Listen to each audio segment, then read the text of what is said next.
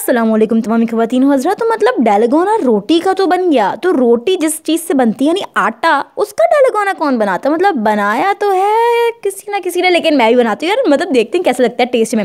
चीनी वही मेरे मतलब एक तो समझो मेरा उसूल बन गया कि चीनी की क्वांटिटी कम लेनी है तो मैंने कम क्वांटिटी चीनी के लिए उसको गलाया। देन फिर उसके अंदर मैं थोड़ा सा डाल दिया इसके अंदर आटा। आटा डालने के बाद उसको अच्छी तरीके से मिक्स किया, फिर थोड़ा सा डाल दिया बेकिंग सोडा मतलब कि दिखने में तो मस्त था, और यार तुम देख सकते हो डेलगोना भी अच्छी बनी। और मुझे बताना, मैं ना स्टार शेप डालती हूँ, ना मैं सर्कल शेप डालती हूँ, मैं डालूँ कि नहीं डालूँ डायलॉगाना में, ठीक है? लेकिन अच्छी बनी थी, इसको तुम दे सकते हो हंड्रेड में से सिक्सटी फाइव ठीक है? अच्छी थी।